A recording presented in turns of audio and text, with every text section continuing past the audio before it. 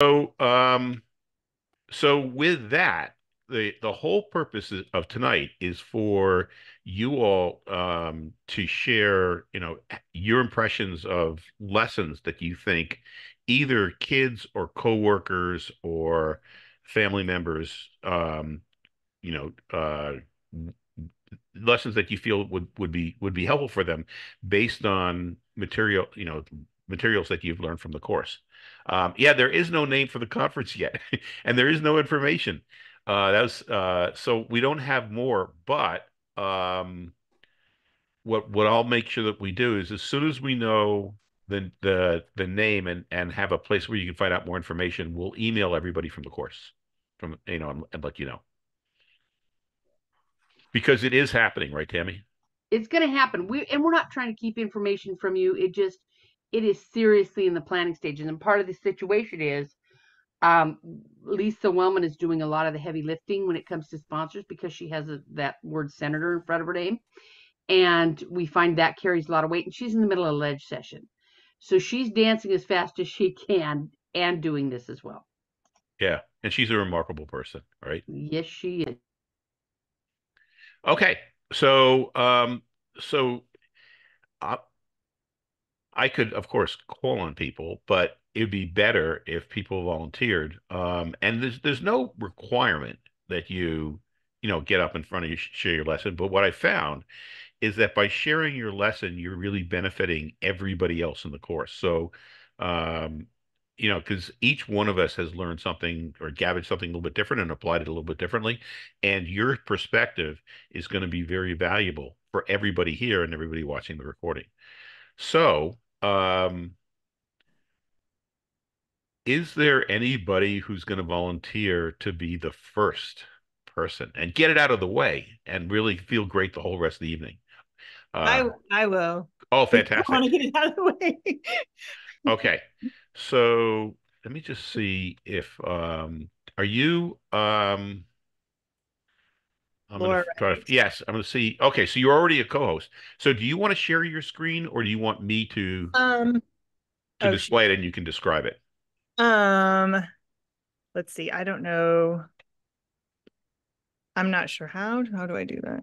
So there should be something on the bottom of the screen that says share screen. It's green as opposed to every other color. All right, hold on. Let me just pull up. I just realized I didn't pull up my thing. So let me do that really quick. And and if you want, like I just clicked on yours, so you know I can um I can share it, and you can just tell me when to advance.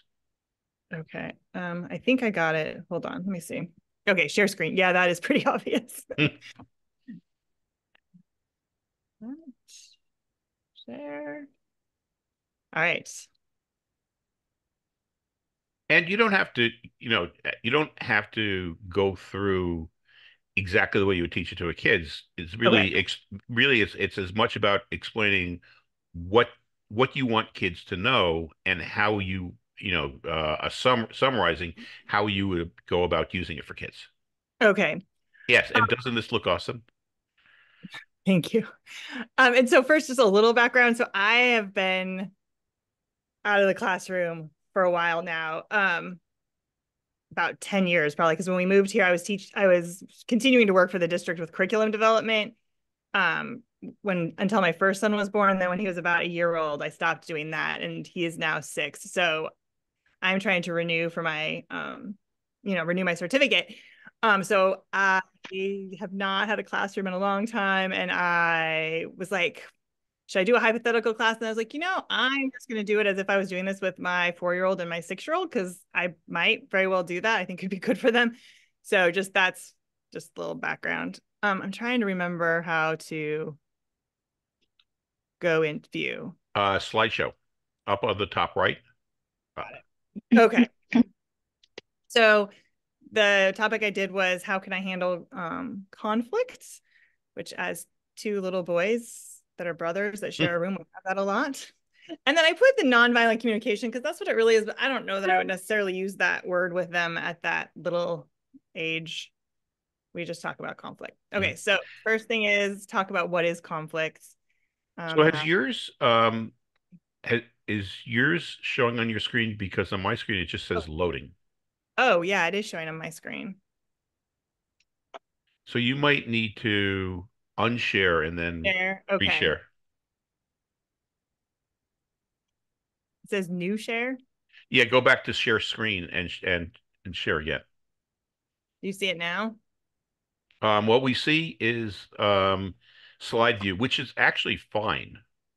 Okay. You know, so you you probably just you can just click through the slides this way. Okay. So you see the one that's the two kids staring What- angrily at each other? And what? Yep. And what is conflict? Yep. Okay.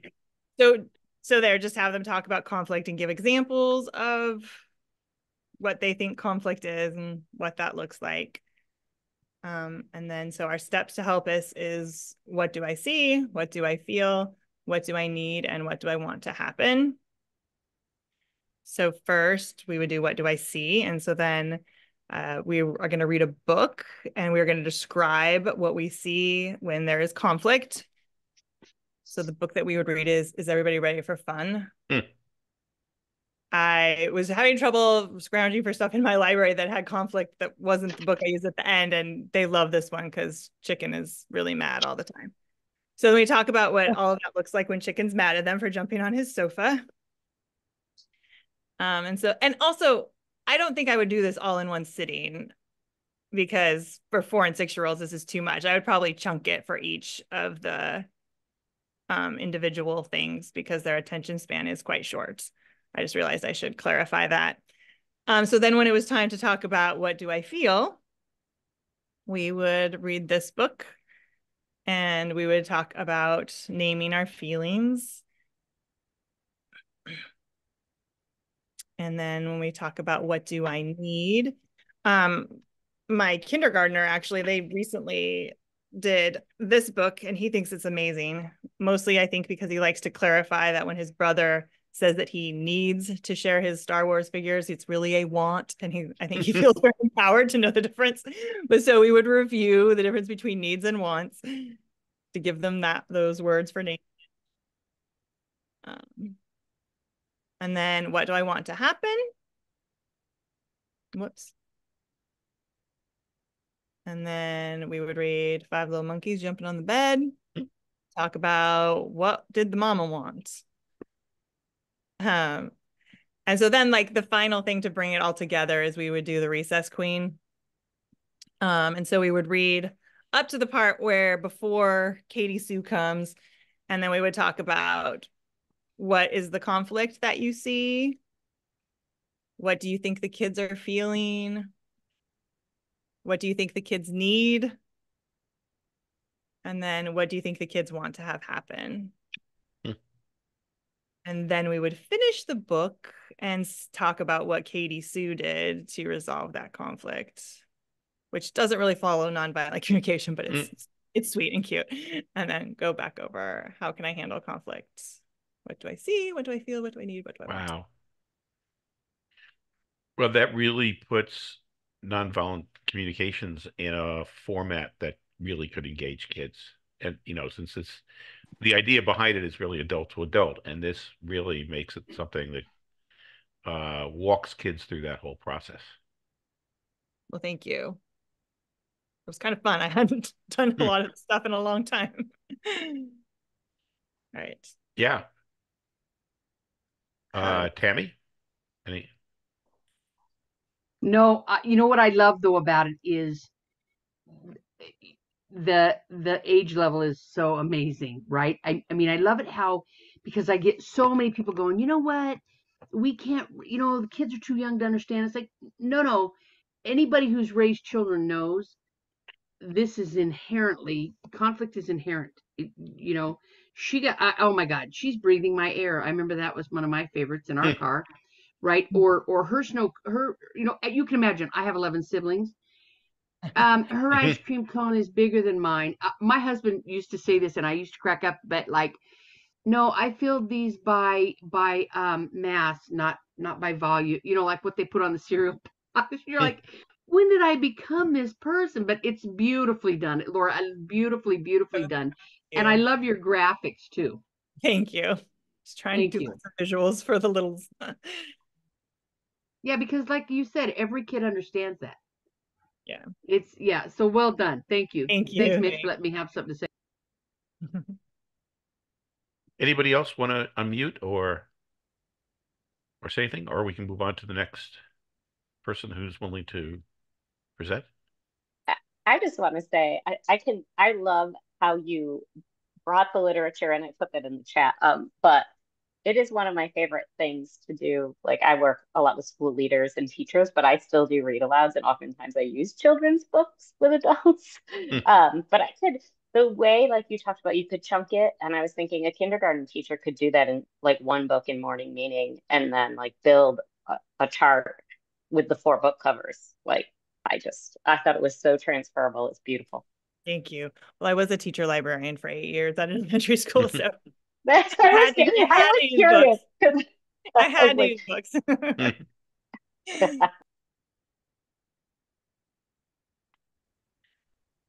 Well, that's a that's a fantastic start. So, you. who would like to should and you know, so I'm thinking, you know, Teresa, since you're going after completely different audience, would you mind sharing yours?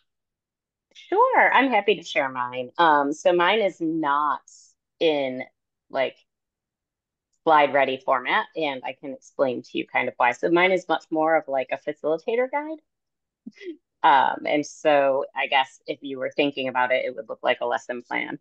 Um, but let me just, oh, I can't share my screen though. Oh. I'm so sorry. Uh, No, no worries. me, um, now I have to find you. Uh, there it is, and make you a co-host. Perfect. Okay. There. So don't expect it to be pretty, but I'm happy to talk you kind of through my thinking on it. And so I focused on the Thomas Kilmann conflict model activity. Um, and I kind of had, these are the learning objectives for my learners, but I kind of had in mind one of the design elements I like to use is both covert and overt um, intent behind the learning design. And I can explain that a little more after I talk you through what the activity would be. Um, and so it, imagine this is a professional development session and this could, I kind of left it loose enough that you could modify it for school leaders or teachers, um, depending on your audience.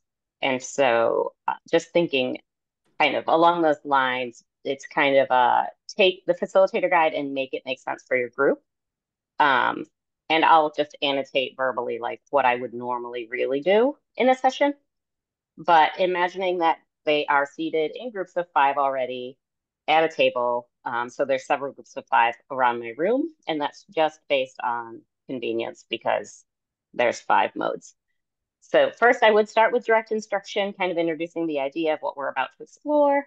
Um, and there's just a little bit of text in here. I just grabbed Mitch's um, graphic for, uh, and credited him for ease of like your transfer as I explained it to you. Um, and I would spend a little bit of time kind of talking about what the, the literature is saying about what is compete, what is avoid, what are the five models. Uh, but a lot of the time for this activity would be them exploring. And so what I did was I went out and found five different resources. Um, and so the overt part is like, hey, go learn about this model. Take these five resources. There's five people at your table. Choose between them. Some of them are written, some of them are videos. Choose each person choose one research. You can divvy them up however you want. So if someone wants a video, they can watch the video. What I am doing overtly or covertly is really trying to set them up to have to have a negotiation. Um, and so kind of a very mild conflict where they are going, what they're going to do, I'm going to give them time by themselves to explore their resource, take some notes. And so I want them to think about, this is their reading with a question in mind, how would you summarize this mode of conflict? When is the mode useful or a strong approach? When is it harmful or a weaker approach? Um, and just a note for anybody who wants to grab and use this, uh, that they all the five resources are not all 10 minutes long, but I'm trying to allow for some flexibility for processing time, note taking, synthesis. But if you have someone, a learner who's like, what am I supposed to do now? They can they can explore another resource and that's acceptable use of their time. Um, so in the middle of their tables, they will have a big piece of chart paper. They've been taking their own set of notes, but in the middle of their table, they're gonna have a big piece of paper. So after the 10 minutes, I'll tell them your next set of instructions is each person now has to provide a synthesis of what their article or video, what their resource said and how it explained the five modes um, of conflict. And so everybody, all five people have to share the perspective from their resource. So now they have the perspective of their resource and they've synthesized it through their own lens. Um, so hopefully there's kind of layers of complexity in the perspectives, um, but also some good cognitive dissonance should come out of this conversation. As each person shares, everybody else is kind of taking their own notes, but they're doing it on the big chart paper in the middle of the table. And so now they're kind of using a shared space, noting what stands out to them.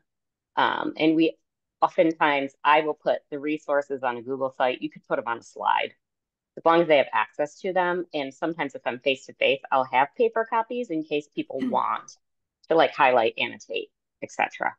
Um, so they have them on the big chart paper. And once they've all shared, then their next prompt is to synthesize based on the, the notes they've taken together. And so they're going to discuss these two new questions, which is how might understanding of these models help to understand your behavior as you navigate a conflict situation? And then how might understanding the models help you to understand and respond to the behaviors of others, teachers, students, etc. Um, and I think these two could really be modified to whatever your learning objective is or whoever you're sharing with. So if you know you're working with a group of teachers that are struggling in PLCs, then you can make that prompt more specific. Um, this is the time where I would give them a robust amount of time to have this conversation because this is where I really anticipate them hitting some dissonance, like thinking about how they understood it, what they heard other people understand, what other people wrote, um, I would give them lots of time and space to have this discussion. And so if this was virtual, I would toss them in a breakout room and let them have the discussion. Um, and if I'm facilitating, I'm going to walk around and kind of listen for the nuggets that really stand out as themes, but then I am going to facilitate a whole group share out.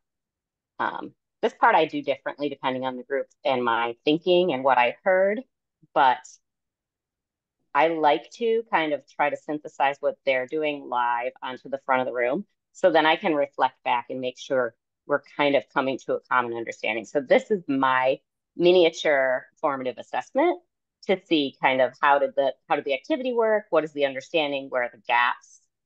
Um, and then I would push them to really think about what are some of the things they might see, hear, or notice if a student or colleague is in a specific conflict mode. Um, so getting them to start thinking about, okay, I'm going to go back to class or to my PLC or to my faculty meeting, and how am I going to recognize this happening? Then I would give them a little bit of time to reflect for themselves.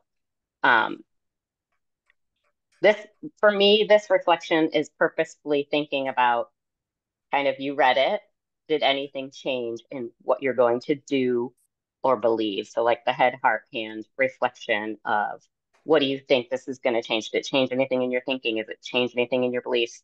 Or is it going to change anything about how you're going to act? Um, so, tried to go through it quickly enough to, to give you time, um, but and happy how, to answer questions. How long do you think that whole process takes? I'd say about if I were facilitating, I'd give it 45 minutes. Okay. Um, for so, robust time mm-hmm. for some dissonance discussion mm-hmm. and then an, the second round of synthesis. Yeah, because when you were going through it, I was a thinking, wow, this would be so cool for a, a faculty meeting or for a PLC. And then the other thing is that uh, my wife and I belong to a sustainability, I guess, it's not really a club, but it's it's it's a committee of of our village.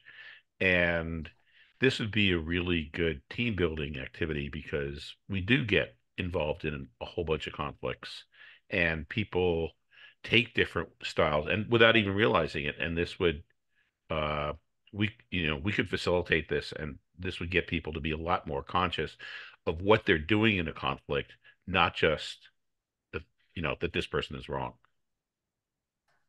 I thought uh, that's great. I thought it was great. Thank you. But that's why that's why you're a coach. You coach all over all, all over the country, right?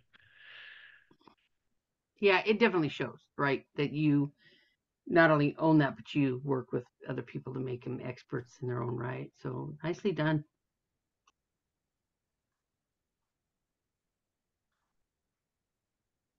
Yeah, thank you. So who wants to go next? I can. Okay, that would be great. Did I make you um I think so. yes, your co-host, so you can share.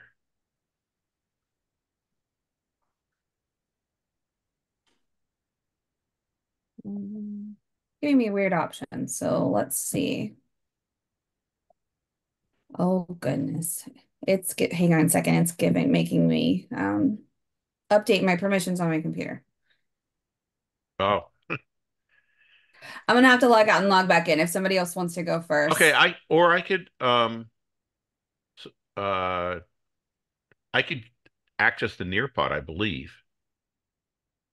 Let me just because that's the that's the main uh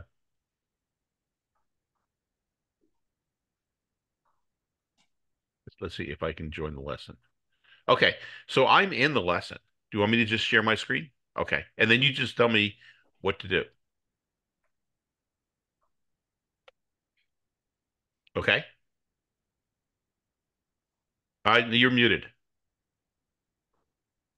Sorry. Uh, I teach high school math. Um, and one of my big um, ideas in my classroom that I, I try to get across to my students is that the idea of problem solving extends outside of just math. Kind of so that this idea of conflict really kind of hit home with me because um, I really want them to learn how to address conflict kind of as a future ready skill going out of the classroom. And I work with mostly seniors. So having come to me, especially this group of seniors, having spent the majority of their high school life either online for um, virtual learning or on social media and stuff like that, I wanted them to see how to actually have a conversation with somebody as they leave high school that is productive um, and how to solve it. Um, so if you want to go to the next slide. So the first thing I did was I kind of just showed them this little clip from Despicable Me where um, one of the sisters' toy gets broken and she kind of blows up and um, the response was to kind of go after somebody, this idea of revenge or vendetta, and that's not productive. That's not where we want to go. Um, so that's kind of like my little hook into this idea of conflict. And then you can skip, I think, two slides ahead. Um, it takes them, it's going to make you watch videos. That's the problem with Oh, that. darn. so the PDF might be a little bit easier because that it'll cut out the Um, interactive stuff. Uh, Um, I can't I can't advance the video. Yeah, it's not going to let Well, you wa- do it without watching. and I and I don't even think I have sound on. So let me No. stop share. Okay. Sorry share. about that. That's okay. No, no, no. It's my it's my problem. and then There it is. So here's the video. That's freaking me out. What is she doing? She's gonna hold her breath. I just posted the teacher preview link in the chat if anybody wanted to like look that up. Boy, now stop it. There are several videos in it. Oh, So- okay. So so yeah, Yeah. okay. So the teacher let me uh sorry. Let me um I'm in this spreadsheet and The third link, I believe, should Tell Me More? Mm-hmm. So it's just a PDF. So it kind of tells you. So if you've ever downloaded an Nearpod before, it tells you where the interactive pieces are to it. So this is helpful if you've never used one, and it kind of tells you like what's expected. So I have them watch a little video about conflict. We try to do very, very short videos, but we have a large population of English language learners. So we like to do videos that have translations accessible to them. So, but most of this video talks about conflict as a negative. So one of the things we do is we watch the video and then we had kind of have a, just an open conversation about it. And then if you go down a little bit further to slide five, I think, this is where I introduce them to, well, we have bad conflict. That's kind of our forest that's on fire idea, right? They're very, they're very, very used to hearing about those things they don't often hear about conflict as being a good thing, as being something that is productive, is that challenge that we want to get through. And so I kind of wanted to highlight that. And then so on the next slide, what I've given them is a collaborate board, and they have the opportunity to list experiences where they've had bad conflict, and this will be anonymous, but they can see each other's. They also have the opportunity to list things that could potentially be good types of conflict. So that productive struggle that we experience in a learning environment, um if you're in a relationship with somebody that conflict that you build off of that once you work through it it doesn't have to be the end of everything right so kind of focusing on those things so we go down further and i actually pulled some of uh, your ideas but i tried to stick with ones that they would be um, most familiar with so ideas of good conflict kind of hoping to see some aha moments with them and then some further ideas of bad conflict which hopefully they will have already kind of come up with in that collaborate board. Mm-hmm. And then we go further. Um, and so here's our conflict styles, the five conflict styles. Um, and it's in the idea of animals. So it's just a cute little like two and a half minute video uh, that I've snipped from a much longer one. And it's kind of to have them see like, oh, what thing resonates with them. The idea actually came to me from something that I went to like a PD that was like, which animal do you feel like mm-hmm. today? And you're like, what? And you have to think about the personalities of animals. Um, but I find that even as seniors, when we can step back into that humorous um, idea of that childlike moment, they really enjoy that that that break from all of the stress that they're feeling. So um, I like doing that. And then on the next one, I'm actually having them go and take that 30 question conflict survey to see kind of where they are. I found out that I am an avoid person as well as the um what's the one where I try to be the mediator, which I never thought I would be because I'm so much more avoid that I just would rather not try to mm-hmm. mediate. So but on like- the next slide, after they do that, they have the op- opportunity to do an open ended where they tell me and just me what they learned from that survey, how they feel about it and then they do a poll that the whole class can see where they select which one or two styles they are so that the kind of the whole class can see oh well maybe we do have some things in common. Or maybe it's the idea of oh that person is a voider and i'm a this and maybe we don't want to have that fighter fight with each other or maybe we want to learn how to kind of bridge those gaps between those two conflict styles. So after that we go through that's past the poll so there's their five options. So after that, we hit this like, whoa. So now what do we do? We have all these different conflict styles. We maybe have not ever learned how to deal with conflict in a productive way.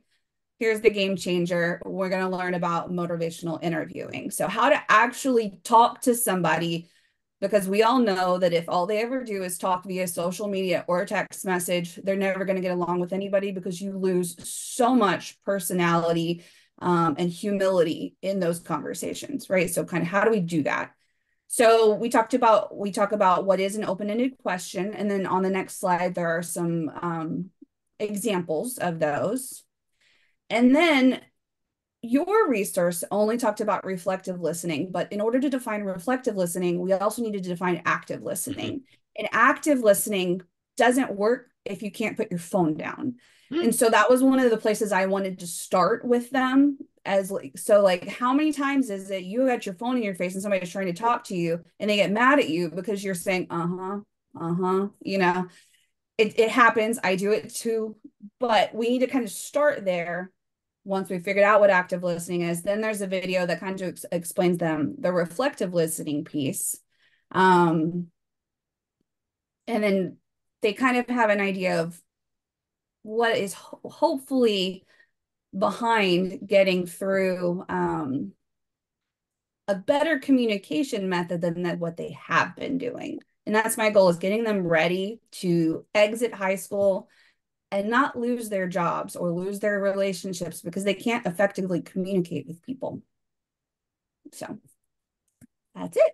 And then there's a little video that was a Disney short that was about two animals trying to cross a bridge and they like just kept bumping into each other because they couldn't work together to get around each other. And then they have an opportunity to just reflect on the lesson because we do a lot of reflecting in our class. That's it. So basically, what you did is you took the highlights of this course, you dramatically improved them, and you adapted them for high school kids. Pretty incredible. Thank you. Wow. How long do you think that uh that this will take? It's probably more than one class period, right? So we have 90 minute class periods at Ah, my school. mhm. I could probably get through it in a 90 minute. If I had a class that really wasn't wanting to participate, I could probably get through it in much less. But my seniors that I have experienced when they get into a topic, when they find that right hook, when they find what it's what they're going to get out of it and they finally start kind of believing in the idea of the lesson they're willing to participate and they're willing to have those meaningful conversations so i feel like this is one that i could actually take to one of my classes tomorrow Mhm. and deliver and use the entire 90 minutes and feel like we've gotten something out of it Well, if if you do do this with a class, Mhm. it would be, could you just do me a favor and let me know how it went? Because my guess is this could be like life-changing for kids. This is really yeah i'm thinking i'm thinking uh we ended uh we're in a big unit module right now that will be in up until spring break but right after we come from spring break is kind of when senioritis starts to kick in and so i'm Mhm. thinking right after we come back from spring break when we start our very last unit of the year it would be a perfect time to to touch on this and make sure that we're not letting our stresses overrule us and we're communicating our needs because they will be increasingly pushy with their needs Mhm. as we get closer to graduation Fantastic. I'm going to stop the share. Okay, bloody, I'm, I'm sorry, uh, my, my house is going crazy, the doorbell just keeps ringing. Um, and I've never been this popular in my life, so I'm sorry. Um, but what I caught of it, I just wanted to say, my favorite part, and as soon as I heard it, I thought, oh, that resonates with me, is positive conflict. There's no way to get out of conflict in our life. And, and in fact, I was having a meeting with somebody today, and he goes, yeah, they hate conflict. And I'm like, well, who, uh, like, yes. Wait a minute. I thought if you married the right person, there's never any conflicts. You know what? If you walk, yeah, I thought that too. Um, I also I have um 11 siblings that can assure you, I, they will tell you that it's just the way it is, right? And how Right. you deal with things, it's just powerful. So I loved it when you said, you know, positive conflict. And I'm thinking, yeah, because, you know, let's be honest, progress gets made when we have conflict. I mean, we may not love it, but in order to move through it, it it requires you to be able to manage that conflict. And it was it. I mean, well done. Okay, for thank you for allowing me to Thank you. have a life Thank- here. Yeah, fantastic. Uh, blown away by all by all three. Um, so thank you, everybody. So, um, any other comments, or should we move on to another lesson? Okay, who who wants to go next? You know, Mitch, I'm gonna say this again. I know you said it at the beginning, but it's when the sharing comes. Like I'm gonna be honest with you. Every time we do this, I just go, oh, and, and I learn so much when you guys share. So I appreciate that you're willing to share. I mean, it's you know, it's just that we all learn so much, or at least I do. Maybe I'm the only one, Mitch, but this is just I do. phenomenal. I Yeah, do. I do every time. Well, I could go if no one else is uh jumping up. Ah, okay. And are you, did I make you a um, co-host? I don't think Not so yet, not yet. yet. Yeah. Okay, so there we go. Also, um, I apologize if my heat goes on in the middle of everything. Um, I uh it's kind of I've I've been told that it's not super noisy. It's noisy on my end, but I don't think it is on um anyone else's. Okay, hold on a second. Well. Sarah, as long as some it's not your doorbell ringing. Okay. Uh You know, my father used to say stupid stuff like, "You had all day to ring the doorbell. I was here, not like nothing happened." And the minute I get on a workshop, the doorbell rings. And I used to think he was so silly for saying things like that, but now I'm thinking he was wise. Hmm. Because every time the doorbell goes off, I'm just like, "Are you serious? Are you kidding me?" So yeah, Sarah. So your heater can go off. That's great. No Okay. Hold on, let me close some of my other windows because it's not recognizing. Okay, um, let's see. Chrome, is it going here? Hopefully it's this one. Oh, oh, it says allow Zoom, open system preferences. Okay, ding, ding, ding. Okay, I might have to do something on my end before Okay, or sharing, I so I'll let can- someone else go. I I can um pull it up. Mine's kind of a complicate. I Oh. made it complicated. Okay. Okay. All right. So yeah. Okay, I'll let let me someone else back. go. Okay. Okay, cool. This is Christy Shoemaker. I can do mine. Okay, Christy. And uh, did I make you a co-host yet? Not sure. Um, no, I didn't. So Okay. there we go. Now you're a co-host. Okay. So let me see if I can get in here and share. Okay. Can you see mine? It's uh, right now I have a dark screen that says you started sharing, but nothing. Yes, there there it is. Okay. Yep. Okay. So I am a um, middle school teacher, eighth grade.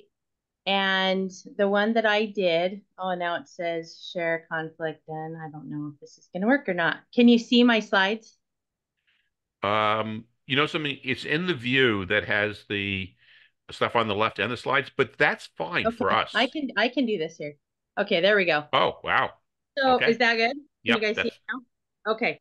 So mine is um I would teach this lesson a little bit before we worked in groups and I would let them know I think it's really important to let kids know what it shouldn't look like. And so we would go over conflict styles, compete versus compromise. And we would go over um so let me see here. So the compete um I would give them just a definition. This style involves pursuing one's own. Um, let me see here. I'm gonna see if I can move this stuff around because I can't see the whole screen here. Um, and just talk to them about what that means for the compete kind of conflict style. And then I would I would talk about give them a scenario and talk talk to them pretty much like a role play where they've got four people, they've got a project, um, how can you solve this problem if you use compete style conflict and ask them you know how is that going to work out? If you both want to do the same portions of the project um, like with somebody else and you're both competing for it how is the problem going to be solved? And i'm hoping that they're going to get nowhere with that answer or that it's going to be very very difficult.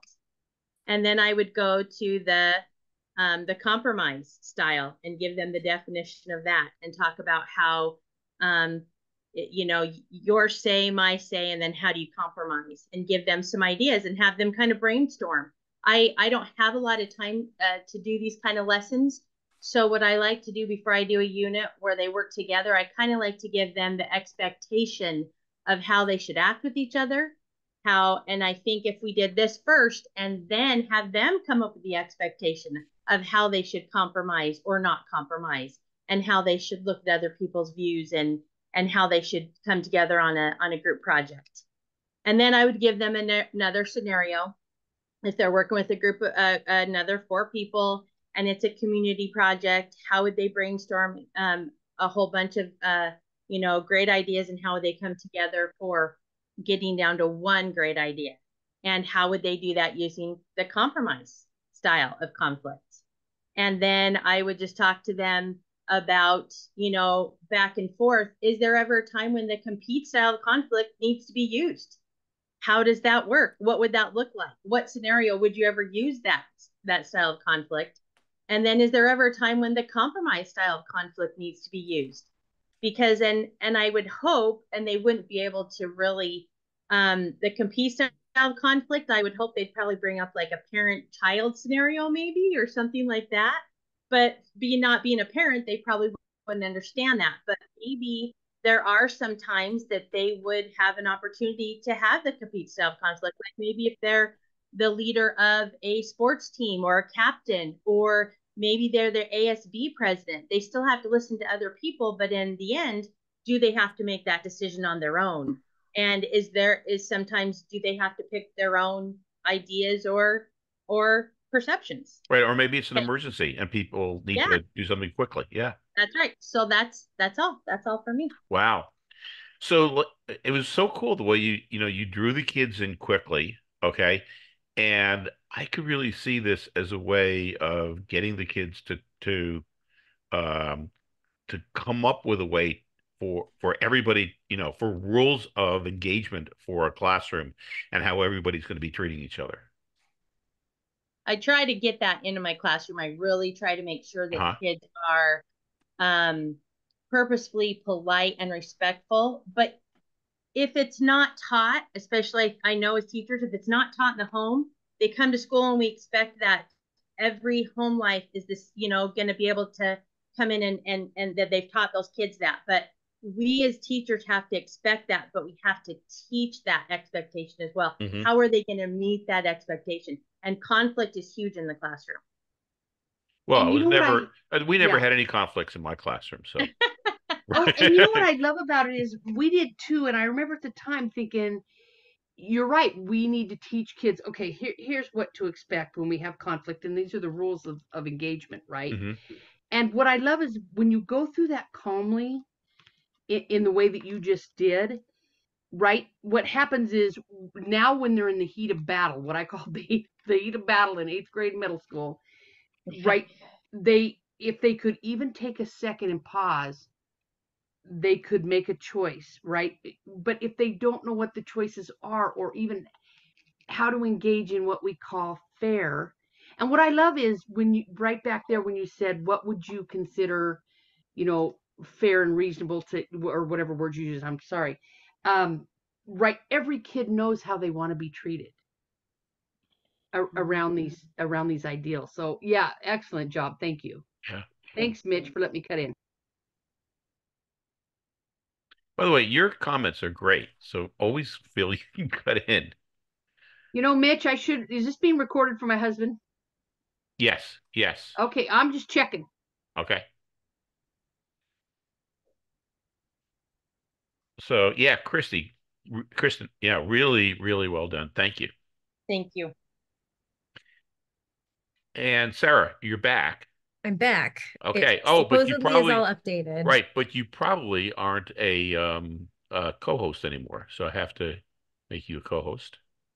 Also, my heat just turned on, so I'm sorry if it's like whiny sound. No, I don't.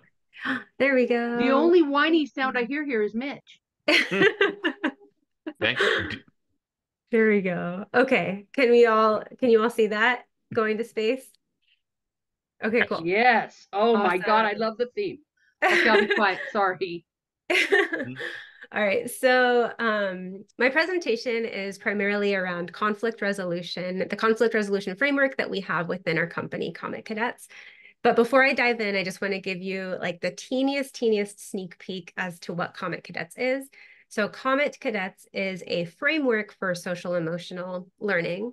Um, it all revolves around emotion identification, regulation, conflict, conflict resolution, all the good stuff. Um, COMET stands for Communication and Emotion Training, so COM-ET, COMET. Um, and it primarily focuses around our space captain here named Cap and her robot sidekick named Chip, who doesn't understand their feelings yet. And so they go on missions. Um, and it mixes real space science with kind of a fictional twist on it. So they've discovered dark energy across the universe, which is like real life, the expansion of the universe.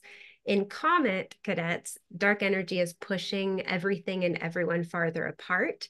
And they've discovered that um, dark energy is created by people when they don't understand themselves or each other. And so it pushes them farther apart, thus creating conflict. And so um, at Comet Cadets, they need a force to bring people back together.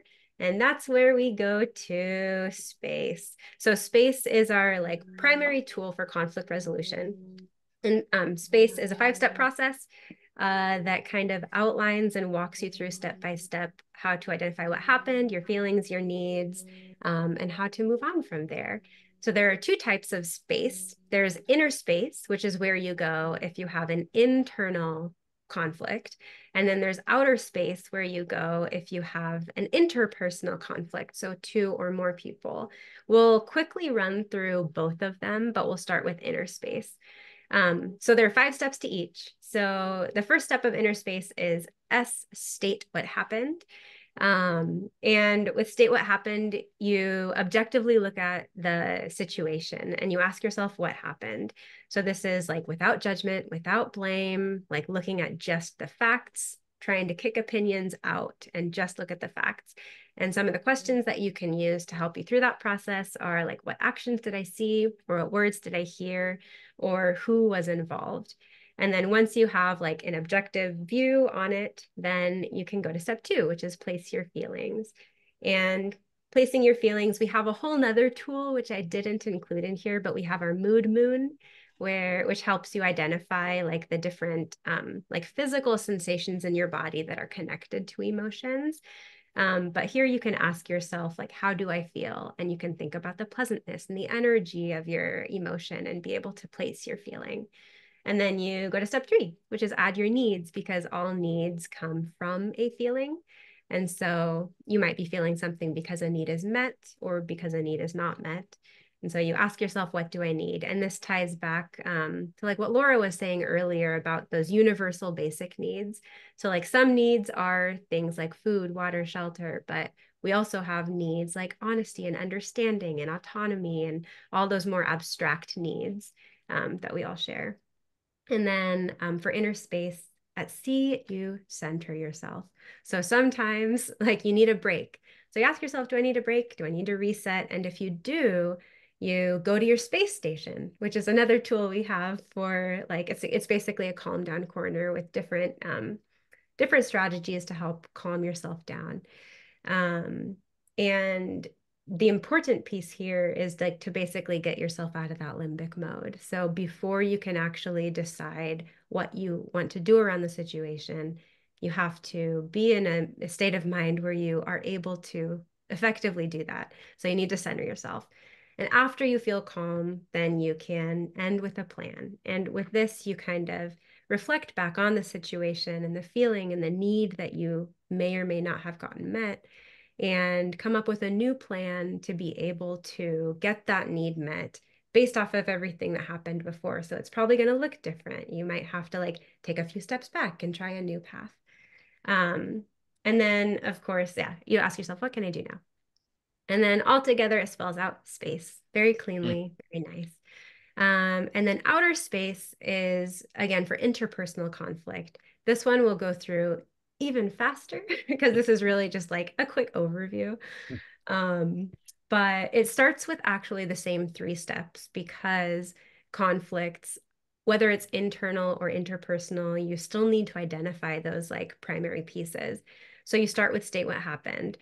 Um, and this is with two or more people. So it can be more challenging to look at it objectively and kick those opinions out and the judgment and blame out because you have multiple parties who are having to agree on what the facts are. Like what were what did we see? What did we hear? Who was involved?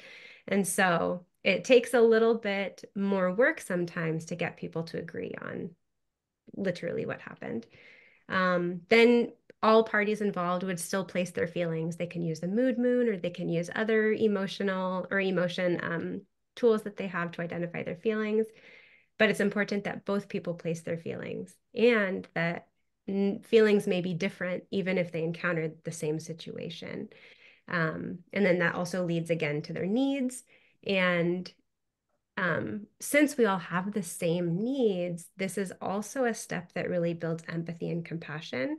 Because if someone is voicing, um, like, hey, I have this need, the other person may have that need too in that situation or a different situation, but be able to understand where that person is coming from and then be able to like perhaps see the situation from their point of view a little bit more clearly and be able to have more empathy throughout the rest of the problem solving.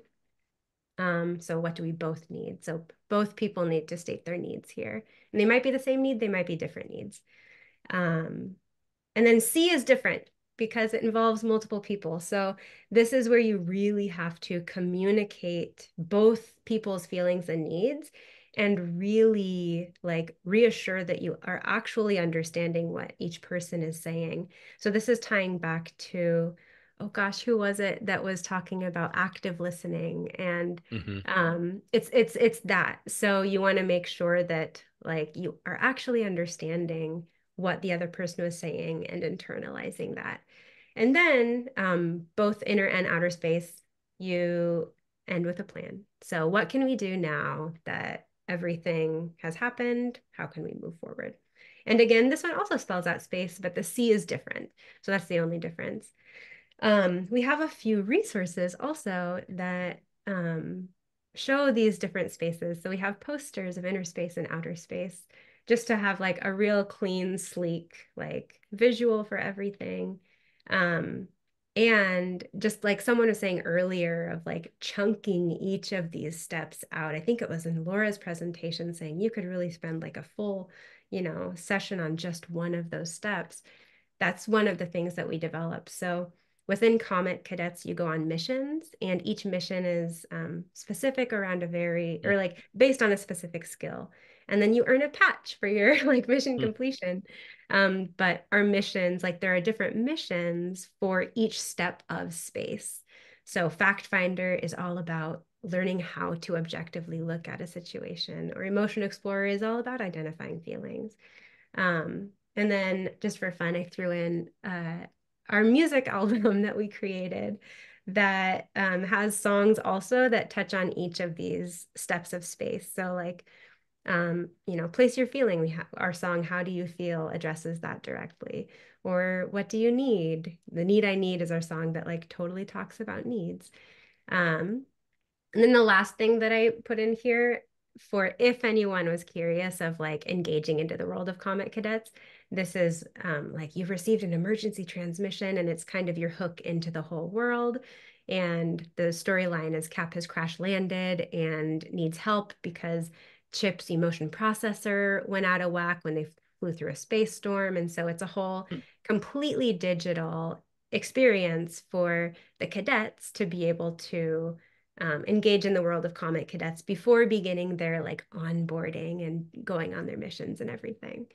Um, and that's that's the end. The very last slide also has some resources if if anybody wanted to click through the slides and check out like that reboot chip um, activity or onboarding or missions or anything. Hmm. Um, but that's all of it. Yeah, I know I come in with like a little bit of a different angle because we are developing material um, versus me actively being in a classroom, but I just wanted to give a little sneak peek into everything. Oh, I mean, first of all, what engaging graphics. Thank you.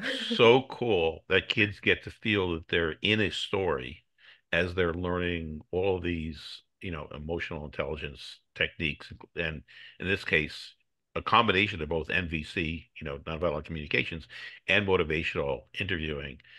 And it's just like amazing seeing how many pedagogic techniques you just folded into all, you know, to the Thank uh, you. it- it's just like, um, congratulations. Thank you. It's um it's been a real joy to develop, but yeah, we're excited. Okay, Yeah, you know, and- having worked at NASA, Mitch, first of all, the minute you say space, you have my attention. And I'll tell you something I know, you have the attention of every kid in and out there. Male, Yeah. female, it doesn't matter. The second, I don't know, Mitch, making games to teach this stuff. I, That's right. Kids shouldn't Oh, be having fun. They should be learning, right? I I am mean- just gonna, well, because Mitch knows this is my doctoral work using games to teach. And the minute you're like, oh, and then, and they can go on missions and they can do that. And I'm like, oh my, okay.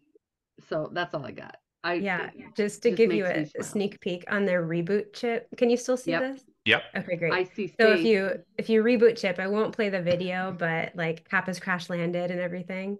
And then you have to go, you go in here to help reboot Chip's emotion processor. And it like gives you a reboot code and it's like super gamified. Yeah, um, It's and amazing. then yeah, and then you send it Yeah. back and you get like your little update and everything. My but- other favorite thing that you fun. kept saying through this is kids reflecting on what they need. You know, that self actualization piece Yeah. Huge. where I know the adults that aren't good at this.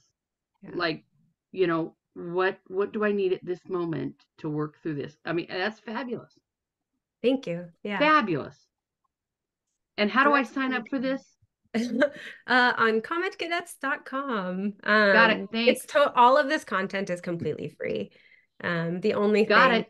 costs anything is in our shop if you wanted to buy something, but Okay, everything is free. cometcadets.com. I'm on my way. Yeah, in for anyone, the little um logos in here link you directly to the website too. So real easy, real easy to to get where you Sarah, what age bands um is it designed for? Ah, I, the because of the imaginative piece of it, it's really like K5. Um, Okay. I think second, third is that real sweet spot. Second, second grade is like really sweet, which is what what what we've found found so far with teachers who have done this. Um, but the concepts are like ages 1 to 99, you know. But it's like everybody could benefit from the concepts, but the imaginative part is a little younger. Awesome. Thank Okay, you. I'll stop share. Thank you. Cool. Yeah, amazing. So, um, yeah, other comments for people? Any, any- I was just gonna say, so I know, Sarah, you know, I signed up for this a while back and we've been like sick and all sorts of stuff and have not had a chance to try it, but this has lit a fire under my bottom because I'm like, this is so awesome. I I was Thank excited when. I was exploring it, but like just actually taking a moment to look at it, it's awesome. I cannot wait. And like my husband and I were talking about this about how like little kids, right? Like conflict is so much. And I just don't feel like either of my boys at preschool or in kindergarten are really getting the social emotional. I just think we really fail on that a lot in America. And so I'm like, I'm really excited to go through this with Thank you. Yeah, we're awesome we job. have a million and a half things that we're still developing. So it's it's new, it's growing, but you can expect a lot more to be on it Mm. on its way. Okay. We're gonna check it out this weekend. Cool, thanks. okay, so, um, so Christy Walker, you volunteered to go next, right? Yeah, I just need to be able to share my screen. So I just need to find you on the list here and got it. So, uh, make you co-host. And there you go. You should be able to share. Mm, not yet. Really? Did I, uh, did I? Okay, so what did I do wrong? Um, oh. Hmm. I did not make you. By the way, it says Renton. Are you from Renton Academy? No, but we actually share campus with them. Ah, okay. They have All a right. fabulous program there. Because uh, because Michelle, uh, both Tammy and I know Michelle pretty well from Rent from Renton Academy. Ah, okay. Okay. So is your superintendent Dr. Damien Pattenaude? Yes. Fun Yeah, we fact, share we share a principal with Renton Academy. Uh, Travis Hall is principal. Okay, he is one of my all-time favorite people. Damien He's Pattenaude. amazing. He's amazing. He grew up there, and he like Yes. he's one of the youngest superintendents in the state. And you know, I love listening uh, to people talk about him because they're like, you know, he didn't change when he became superintendent. He's just a good, good, good person. Yeah. Okay, sorry, I had to Pattenaude was fangirl there my- for a minute. Fun Ah, fact, there we go. Mr. Pattenaude was my um vice principal in high school. He must have gone to Was Hazen. I was at Hazen. Yep. Okay, and Sarah, was he as amazing as I think he is? He was incredible. Yeah. He just okay. Why is it not letting me share? Thanks for letting me just Go. thanks. Once upon a time. um, so I teach many things at our little uh, ALE program. Um, and this year I have, among other things, classes of current events. And I have my middle school current events class. Unfortunately, only one hour a week because it's never enough. Um, and I have pretty free reign to cover what I want to, but I try and do uh, about a third media studies, um, a third topics that pop up in the news a lot, and then a third news, um, or maybe a quarter, a quarter and a half, something like that, um, so that they have the background to understand some of what we're discussing. Um, and then obviously the media studies are incredibly important because there is so much disinformation and misinformation, and of course with Chat uh, Chat GPT and AI, um, it got that much harder, that much easier to create fakes. Um, and so that's something that we talk a lot about. But one thing that I realized before Christmas and before I'd even signed up for this class was that I didn't really have, we could discuss people who loudly say information that is verifiably incorrect, but I didn't know what to tell them about how to handle that other than you know well this is how we fact check sources and you know this is where we can find evidence based answers to questions. Um, and so this class actually came at a really good time because i was trying to figure out how to address that with them um, with this election season coming up. So i ended up with uh, what i call but they're wrong because uh, it's exactly what one of the kids would say. Um, and really, what I was looking at um, with this was addressing this concept with them of not only people's reasons for addressing for um, for spreading dis and misinformation because that's what we've done, but um, what the thought is behind when somebody gets grounded in that cognitive dissonance, gets grounded in um, you know, it doesn't matter what I see, I'm going to believe what I believe. And uh, I think some of that, what, what I realized in this class is some of that came down to helping them understand where people are coming from. So we know, I, you know, started off with, okay, we already know um, these different things we've covered in our, our media studies so far this year. What the, uh, there's, um, and so then of course the kids don't want to know well but they're wrong you know we can tell them all this but they're still wrong and they they won't deny it they won't change their opinions. And so i wanted to talk to them about collective illusions and i'm glad that the class gave me kind of a framework for how to explain it. Um, and i really it's designed for a teacher to lead them through it but just giving them the basics of what collective illusions are. And usually, as I um, go through stuff like this in class, I give them real life examples, I give them metaphors. Um, I elicit connections from them for where, where they've noticed it in their own lives. Um, and so this would probably easily take a whole class period just because I really want to dig into helping them make connections to where they see these things in their own lives. Um, and once we go through this idea of what a collective illusion is, then we can go into what is actually happening physiologically and mentally with people who are stuck in these collective illusions or collective delusions. Um, and again, it's just walking them through the facts that they, you know, may not have understood about stress responses and about people's needs to belong to a group. So it's a little bit psychology and sociology there. Um, and again, I'm hoping that if they can learn to instead of looking at it as this person's so dumb they keep saying wrong things to start addressing it from a perspective of where is the fear in this coming what is causing the person to cling on to this and what do I need to understand about the person in order to understand their views. Um, and then I just dumped into some of the okay, what is it like when people are doing these things? And then again, like we talked about in class, the different things they can do. And obviously, we'd have to do some separate stuff on motivational interviewing and nonviolent communication.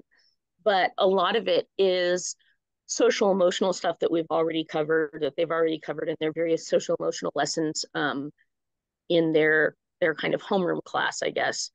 And um, and that these would be good techniques to practice and that they need to as they're encountering this in the uh, future with dis and, dis and misinformation and people who get stuck in their beliefs um, that they can use some of these strategies rather than just trying to argue facts.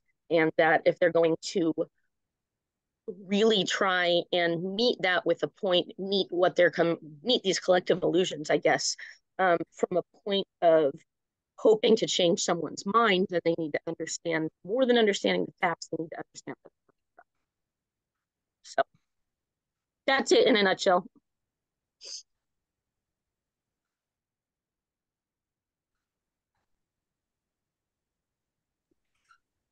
Mitch, I think you're Like, talking, but we can't make hear it you. go Right, right. I was I was muted. First of all, I said wow. Unfortunately, that didn't come through. But uh yeah, just wow. And then it so we have this um you know countrywide, probably even worldwide, you know, we, this thing about oh, we'll just teach media literacy or we'll just teach misinformation by showing the kids how to research stuff.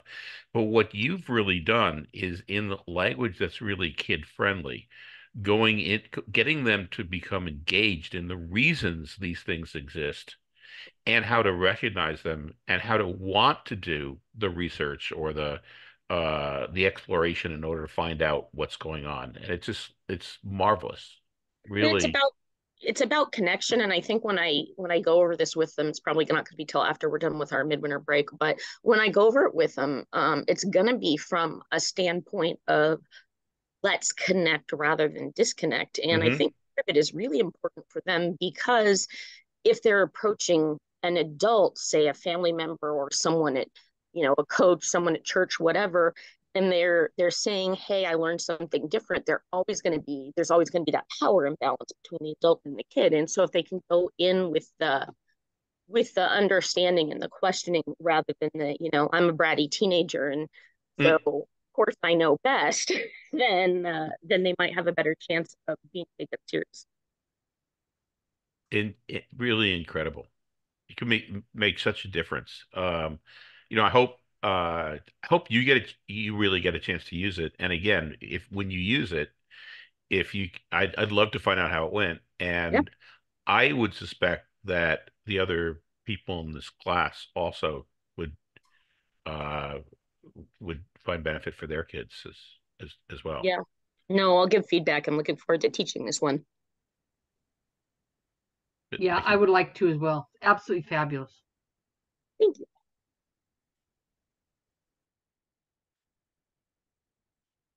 So, uh, so thank you for volunteering to present also. Um, and I'm looking at the time, so we probably have time for one more presenter. So I'm sure none of you want to be left out, right?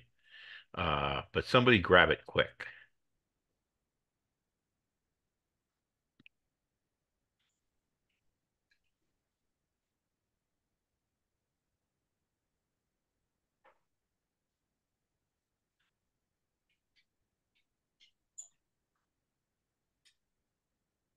Anybody? Mitch, sorry, I'm trying. Yep. Okay, uh, Cynthia. Um, You there? yeah, I'm here. Okay, cool.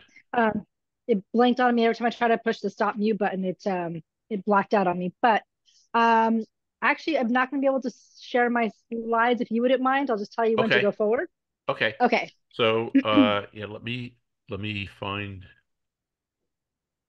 on heuristics, Okay. right? And turn And my let me go so I can to hear myself. Sorry. And guys, I just want to say I've been super impressed with you guys' presentations and everything you're showing. I'm like, what can I borrow? What can I use? How can I um, push it forward with these students? So for those that don't know, um, my name is Cynthia and I am a behavior specialist right now. At least that's the role I'm acting in um, this year for a middle level campus. So um, it's essentially um, most of you would see it as a middle school, but this West Valley here, we broke it up into two different schools. So we've got the middle school and the junior high. And um, as we're I'm going through this class, I've been thinking about the heavy hitters that I work with and their behaviors. And that's why I took this course. How can I help them change their mindsets um, to focus on school? And as we're going through lesson five, our last um, lesson with Mitch, I was thinking about because my priority with these students is to more often than not, I'm a special ed teacher by trade, get them back into class. Oftentimes, these kids are um, doing our task avoidance, our elopement, our um, picking fights or whatnot. And I was really listening into this last lesson about, you know, looking at the um, motivational interviewing because I do talk to them a lot. They like to spend their time in my office to not be in class, and the nonviolent communication.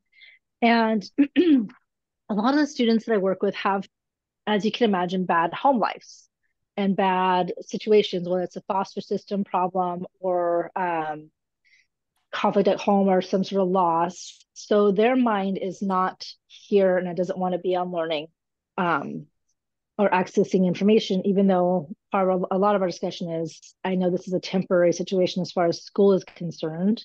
Um, I need you to stay in class and help yourself out to get that information in order to learn so that your future does not have to match your present so you can move forward and succeed. And so that last lesson that Mitch, you were talking about, you know, how to get these kids to learn and teach using their full brain really was catching my attention. And, you know, the word that I picked up on was this heuristics. Well, what are they? Because you say in those slides, you know, learning is work. And I tell my students all the time, like the key to success more than anything else is hard work. And every job that I've had that I've been successful in, or that I've, you know, whether I've wanted it or not, the only way I can accomplish it is through hard work. It's not the school that I have behind me, it's the hard work that I put into it to allow me to be successful. And it's going to be the same for these students or for anybody in life. If you want something, you got to work for it. So that first bullet, learning is work, absolutely that you have on there. But then you say build heuristic skills. And I'm like, okay, well, what is that?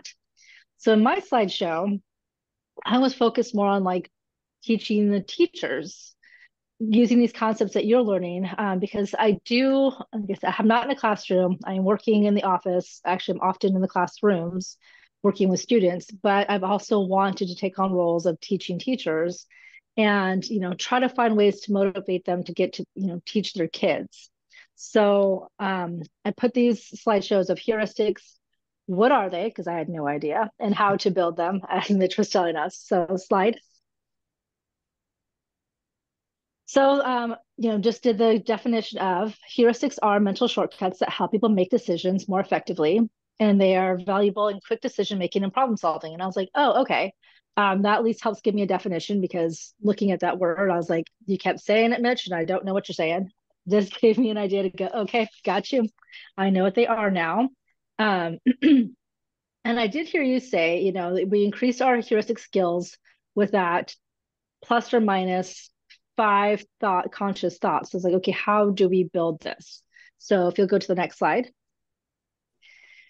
Letting the teachers know that, you know, we use this every day. There's benefits of these heuristics. It will help these kids solve their problems faster, whether it's math problems or um, our day-to-day quick choices that we have. And as you were saying, um, how do we make them more of a norm so that they can access them quickly? So slide. There are disadvantages to heuristics, and it's something we talked about on your earlier classes with the cognitive bias and those judgments that we have. Um, and it's something I just wanted to make the educators aware of that this can become a disadvantage, but that's not what we're focusing today. It's just something I wanted to bring to their attention that um, because we've talked about it, and honestly, it is something I do battle with some of my students, this cognitive bias um, that they're bringing into my office but that makes it an awareness for me.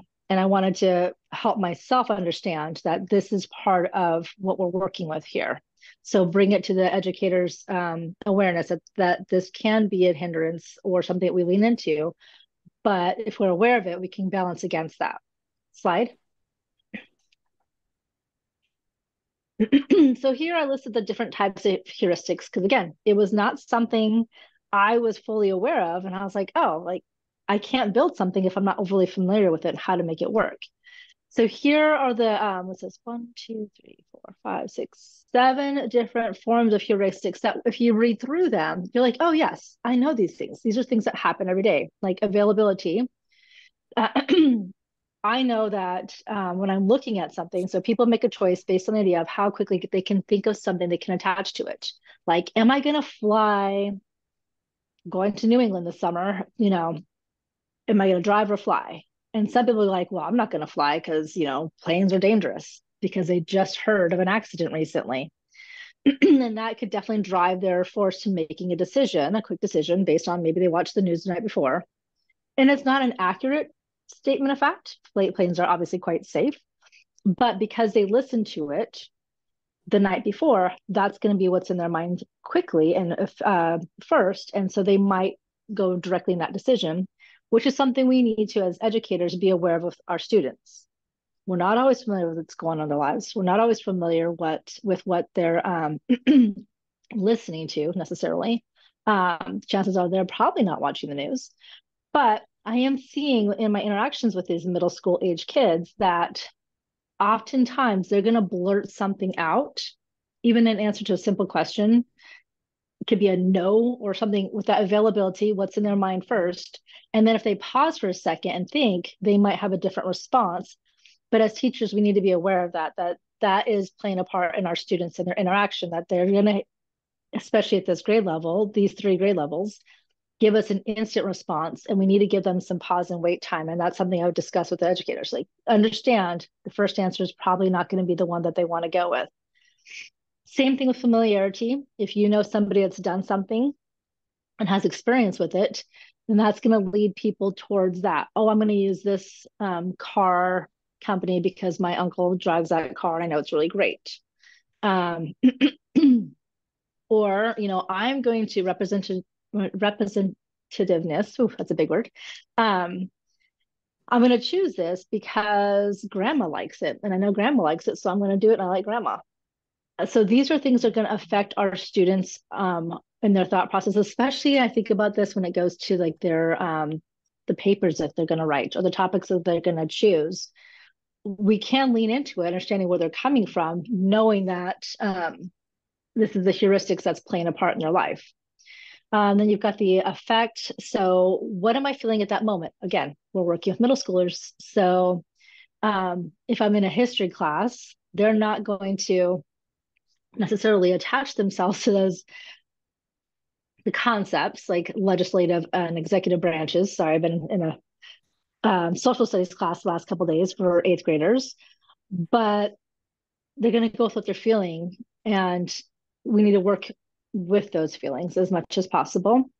Um, then heuristics, uh, another version is anchoring. So they're going to make their choices based on the first information they hear.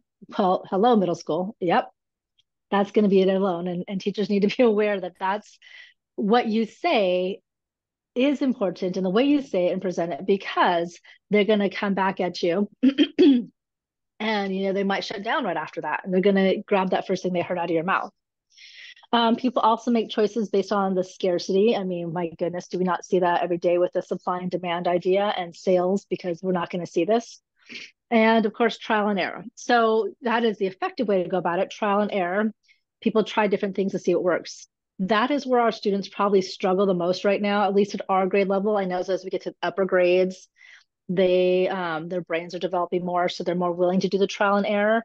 But this is where we really need to reach our students at at um, especially this middle level grades, is that it is okay to do trial and error, but kids this age are so impatient and they don't want to try and see what works. But we need to definitely sell it to them that it if you give it a shot and you fail or mess up or make a mistake, which all kids are afraid to do, um, that's okay. Try again and see what you what comes out, and then you'll be more experienced in that. And I think that's one thing that we should probably sell to our teachers is we already as educators say everybody makes mistakes it's okay but i would maybe adjust it a little bit and say it's not just the mistake that's happening it's the experience of the mistake. You are getting an experience. You're experiencing life. You're experiencing even let's go with everybody's least favorite subject sometimes math.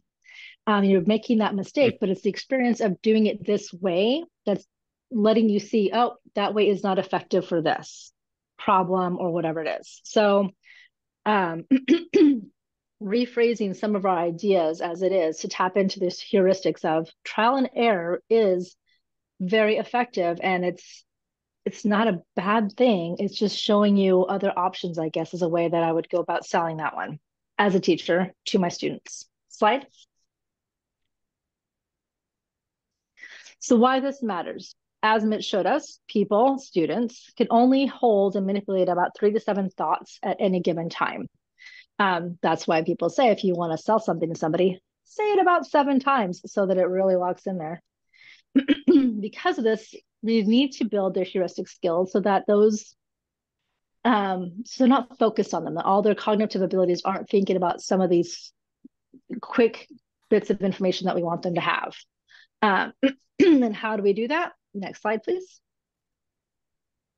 Well, there are five different ways, as Mitch has showed us. So I was grabbing your lesson on this one, Mitch, and um, using it to again present to the instructor to say, so how do we build this and increase this so that kids, and when I think about this the most, I think about um, math facts like multiplication tables. You know, that's definitely something that would be bouncing into the heuristics that if I just have my math facts done, which how many of our eighth graders aren't as solid as we'd like them to be on their math facts, then that won't take up so much of their cognitive space when it comes to doing pre their pre-algebra or algebra problems. I'm not going to sit here and stress about six times three or pull out the calculator, which is happening now more often than not. Um, when I'm solving for X, because I already know that portion of it, I can really figure out how to solve this equation otherwise. Um, same thing with like ideas of um, dates and numbers, but that's harder. You're looking more scientific facts when I look at repetition and practice. So you got repetition and practice. As you said, stories. Kids and people like listening to stories, and I'll go further into these in, in my future slides. But simulations, chunking, and very practice are different ways to build those heuristics. So slide. So as we said, repetition and practice. Um, and this happens not just in our math in our school, but we can tie into our students and our kids when we remind them that for those that are athletes, you guys go to practice every day. Let's take soccer and you guys learn how to dribble the ball down the field. And it happens over and over again. You're dribbling a ball down the court. You have to do it over and over again to get comfortable with that skill. So you're not thinking about it anymore. You're just doing it. In the school setting, it would be those math facts, as I said, or other bits of information that just make, if I know it, without thinking about it, it's one less step that I have to take. It builds that confidence in their skills and the muscle memory that they need to be able to do harder level things in thinking. Slide, please. You also have your stories. Before written word came down, we had oral traditions and we passed on information that way. So humans are just automatically ingrained to hear stories, listen stories, and tap into those stories as ways to learn. Now, not always do students understand that they're learning as they're listening, but they are taking it in, it holds them, it catches them, and it gives them that something to hold on to. And then if we can help them create their own stories and tie something in, then they're going to keep those connections a little harder. I'm thinking about the um, the social studies classes, those language arts classes where they're writing hopefully reflecting. I know that's a big um, topic of conversation across our boards as I'm listening to all your guys' lessons as well. And I do see the importance, and I know it myself, and I'm trying to get these students to understand it. If we just reflect on our thoughts, our feelings, what's going on in our lives, it takes us, you know, makes us pause and step back and look at what's really going on and maybe seeing it from a different angle. So I like the stories concept because I think right now, again, I'm going to focus on middle school. These kids get so tied up in what's happening right in front of them that they just need to pause and step back. And if they can put it on paper or Chromebook um, in a story format, they might be able to approach things differently. All right, next slide. Simulations. Um, I like this one as a learning method because, you know, of course, kids are tapped into games. I'm looking at that. I already did pull up the Comet Cadet, loving that. Um, and science uh, research is showing that kids do learn through games which when i went back to get my degree on this i was like what? You want me to play games for kids to learn? And my head was not wrapped around that but i'm getting there. I'm slowly learning that it does work and it makes it fun. Not my strength with my students but trying. But what i like about simulations is it allows kids to manipulate what's going on. So whether they're living through the moment of it and like trying to decide what to happen with with what's going on in their life. If they can step back and put it down say on a board game or another situation where they can try oh, let me try i think of those books choose your own adventure right? Let me try this route. Is this going to work? Oh nope i died. Go back and try it again. Those kind of simulations help kids process and look at it and go oh, okay i know my normal response again i'm thinking about my behavior students is to handle it this way. What if i were to step back and try this different route. And that's where stimulations help. And if we can get kids, again, I'm going to look towards my behavior students to practice those simulations. Well, my normal response when I get pissed off is to walk out of the classroom. What would happen if I were to maybe take a breath and practice and practice? Then they um, they might hopefully it'll take time. I know Mitch, you've talked to me about this. Change takes time. um, find that different approach and really reach towards that one. And that becomes more of their automatic, that heuristic skill to go to versus their current of I'm just going to pop out of here or I'm going to say blurt some words that I really shouldn't, which are going to get me in trouble. Slide. Chunking, this is a big one. I know all you educators know this one very well, um, especially as a SPED. This is something we work on um, quite regularly with our scaffolding is how do I chunk information? And it's something I think teachers today are just are starting to do anyway. But of course, that the most common one I think we go with is that nine digit number. Now, kids today probably don't know how to memorize a number to save their lives because they put it in their phone and they never see it again. But those of us that are in our 40s and above spend our childhood memorizing cell phone or our house phones and whatnot and uh, and yes we we had our methods and so teaching the kids how to chunk that information so that and, they and can maybe retain and it maybe the kids need to memorize their parents' credit card numbers? That that's that's something they can yep touch back Yeah. into. Hey guys here's some information you might need to know. Uh, your address you know. Don't tell me just to go this direction. Memorize your address. Memorize your parents cell phone so that you don't have to have your cell phone and can call it from the office. Things like that. Right exactly. To help them retain that information that they can quickly um, grasp when they need to. Slide and then the very practice, as uh, Mitch was saying, uh, and it's true, you start doing the same thing over and over again, you're going to get bored. And our students today, especially with their instant gratification, get bored so easily. And I tell my littles, so, you know, we watch a lot of Bluey. It's okay to be bored sometimes. But when we want them to learn it, presenting it in different ways is going to help them grasp it and use it and see it and, and realize that they can use this information in different arenas. And so whether we're, you know, in a language arts class or a history class, and I am seeing this when I'm in the history classes, you know, they've got their textbook that they're looking through, but then of course they're going to toss in the the YouTube video that might grab the kids' attention. Or I remember when I was in school watching Glory to try to attach myself to the, the um, Civil War, you know, things that we can't often see, but if we put it in a different format, maybe we can relate to it there. Well, when things are being presented to us in different ways or we're using it in different ways, then again, it's going to get more um, locked into our not just our short-term memory, which is what we're trying to push past with all these heuristics. We want to push it into our working, so it's always accessible, and long-term memory, so that it's quickly access- accessible.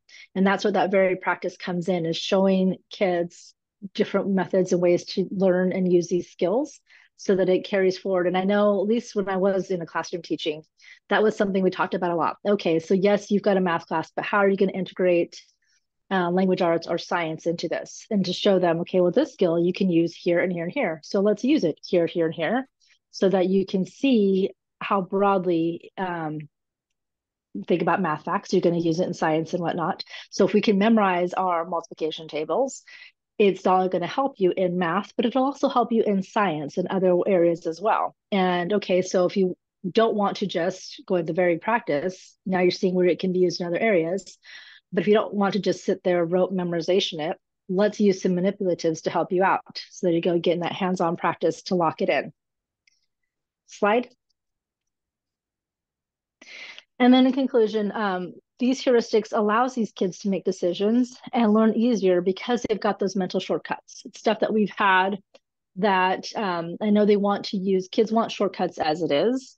Um, one thing is it's going to take some work, and we need to be aware of that and and definitely push that to our students. Yes, all these things take work, but once you put in some of this work, then it comes a lot easier further down the road when things are going to get harder for you anyway. And I, for me, that's kind of the bottom line is, yep, we're putting in some of this hard labor in now. My brain continuously goes to that multiplication table because, yep, I did um, co-taught math for years and I would see our kids struggle because they're focusing so hard on, we were doing pre-algebra, but they're doing their multiplication tables with a, um, they're not using them as fast facts they are looking for the answers on a multiplication table, which is taking up that much more time to do the problem, which is the pre-algebra problem that's in front of them. So if we can build these heuristics, ensure that they're getting these things memorized, it's just going to help them out in the future to do harder, complex things.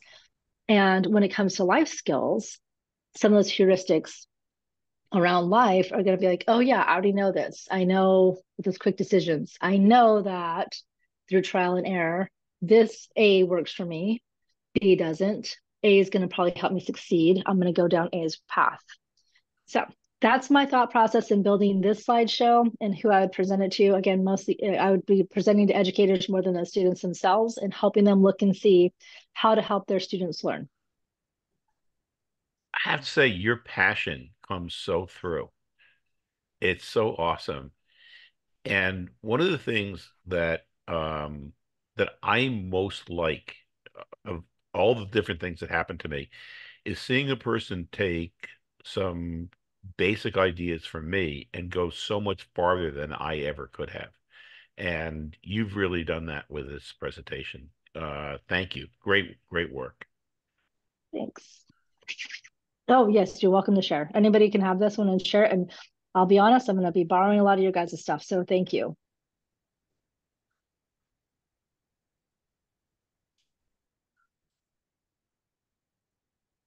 So other other comments?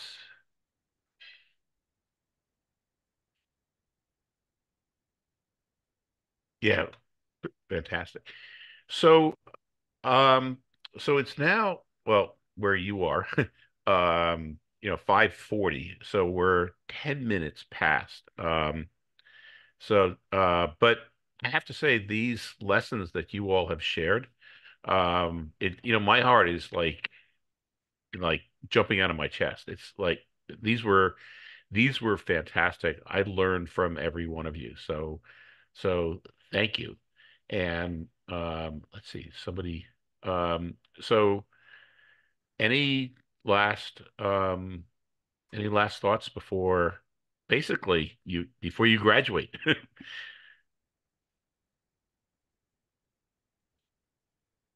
I want to say that I truly enjoyed this class. All the um the presentations today were amazing. Um I've actually used a lot of the knowledge that I've learned already in a lot of my classes. Um, I teach Spanish in an academic support class, but um, I feel like I've been using it a lot on a daily basis lately. Um, so I really enjoyed it. Wow. Muchas gracias. Thank you so much. Uh, so um, I, you know, you all have my email. So as you try these things, if things first of all, if things really work, I would love to hear. Um, and if things, if you run into questions, um, you know, that's what I'm here for also. So feel free to, you know, to reach out and say, you know, Mitch, I tried this, it didn't seem to work. Do you have any ideas about this? And maybe, you know, maybe I'll have an idea. So um, I'm, I'm, I'm happy to help. I'm going to turn off the recording